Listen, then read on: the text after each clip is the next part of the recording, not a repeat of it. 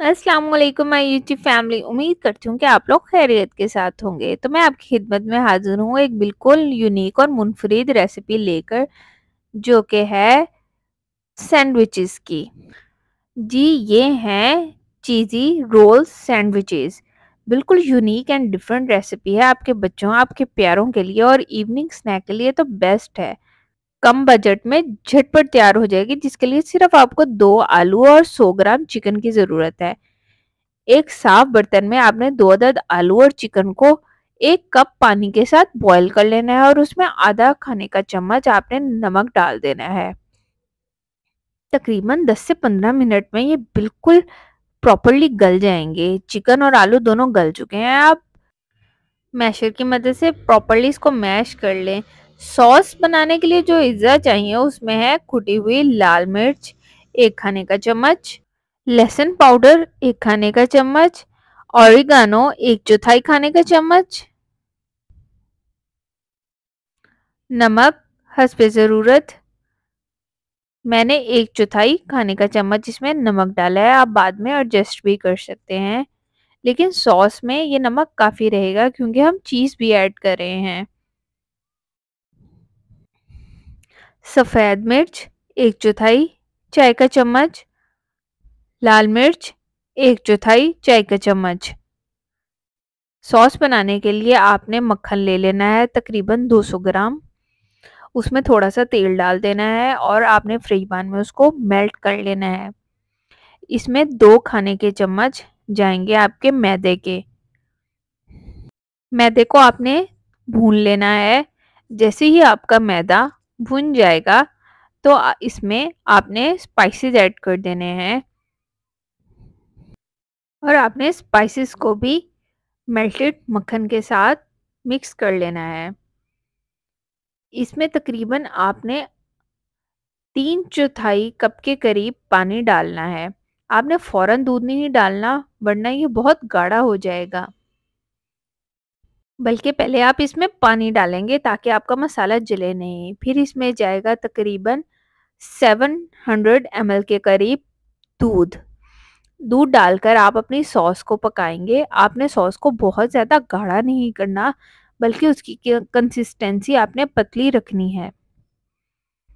आपने अपनी सॉस को मुकम्मल तौर पे पका लेना है और उसमें जाएगा एक कप के करीब चटर्ड और मोजरेला चीज़।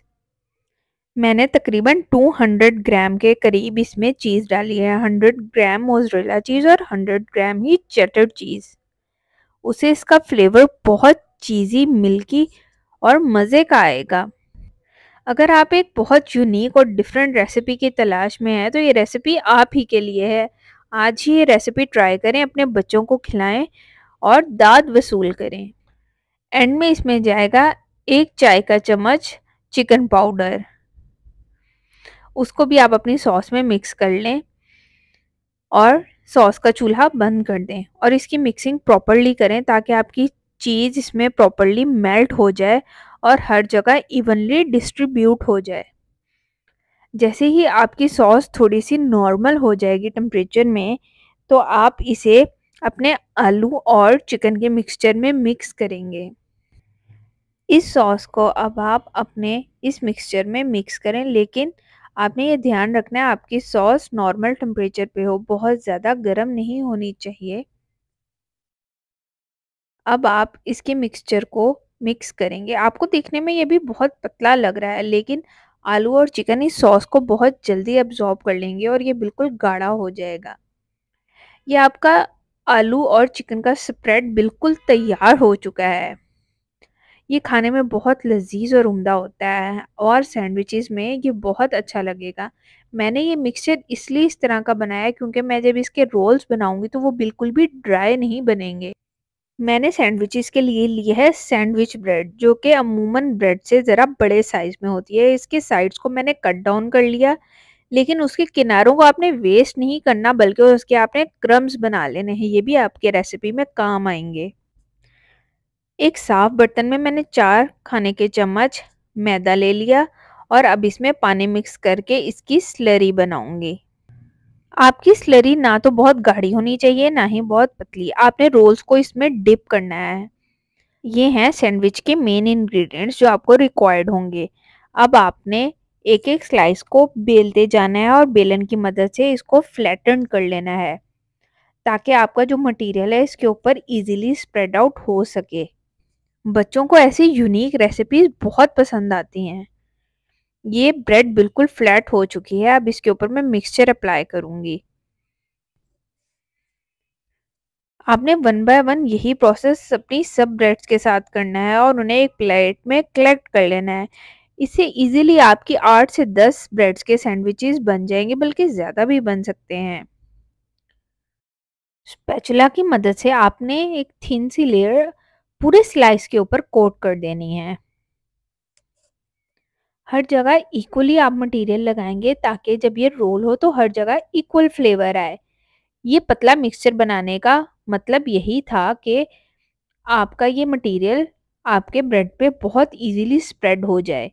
आपको बहुत मेहनत ना करनी पड़े और ये रोल भी बहुत आराम से हो जाए। अभी आपका रोल बनकर तैयार हो चुका है। आपने वन बाय वन यही प्रोसेस सब रोल्स के साथ करना है।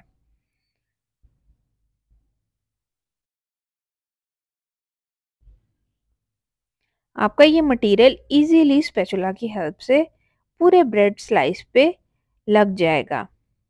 अगर आप अपनी सॉस को गाढ़ा कर लेंगे तो ये अप्लाई करने में बहुत मुश्किल होगी। ये बहुत इजी सा प्रोसेस है। अब अपने बच्चों को लंच बॉक्स में बना कर दें, वो यकीनन बहुत खुश हो जाएँगे। अब आपने ये सब रोल्स को पहले मैदे की स्लरी में डिप करना है और फिर ब्रेड क्रम्स में। आप चाहें तो बाज़ार के बने हुए ब्रेड क्रम्स भी ले सकते हैं, लेकिन आपकी इस बचे हुए ब्रेड के साइड से इतने सारे ब्रेड क्रम्स बन जाएँगे कि आपको ब्रेड क्रम्स लेने की ज़रूरत ही नहीं पड़ेगी। ऐसे ही आप अपने सारे ब्रेड्स को बारी बारी स्लरी में और ब्रेड क्रम्स में कोट करके एक प्लेट में कलेक्ट कर लें। आप चाहें तो ये बनाकर फ्रीज भी कर सकते हैं और एक हफ़्ते तक यूज़ कर सकते हैं। जब भी मेहमान आए, आप फ्रीज़र से निकालें और इसको फ्राई करके सर्व कर दें। ये सिर्फ़ देखने में नहीं, बल्कि खाने में भी बहुत मज़े के हैं।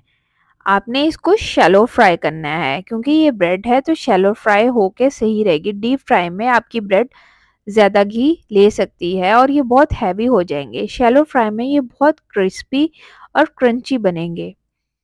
आपने इनको ओवर कुक नहीं करना, बल्कि इसके आउटर क्रस्ट को लो टू मीडियम फ्लेम पे कुक करना है, ताकि अंदर की चीज़ी सॉस भी मेल्ट हो जाए और ऊपर के क्रस्ट को लाइट गोल्डन फ्राई कलर भी आ जाए।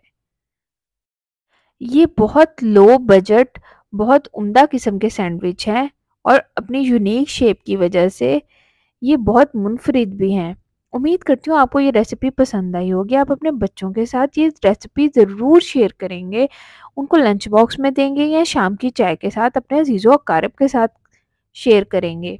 आप इसे रमज़ान शरीफ में भी अपने दस्तरखान की रौनक बना सकते हैं। इसे बनाकर फ्रीज़ करें, सहरी में और अफ्तारी में इसको बनाकर इंजॉय करें और मुझे अपनी दुआओं में याद रखें। मेरे चैनल को लाइक और सब्सक्राइब करना मत भूलें। गर्मा गर्म इसे सॉस के साथ सर्व करें, केचप के साथ या मेयोनीज के साथ। ये ऊपर से क्रिस्पी और अंदर से बहुत सॉफ्ट और चीज़ी होंगे। चीज़ से इसके फ्लेवर में और इजाफा हो जाएगा। उम्मीद करती हूँ रेसिपी पसंद आई होगी। अल्लाह हाफिज़।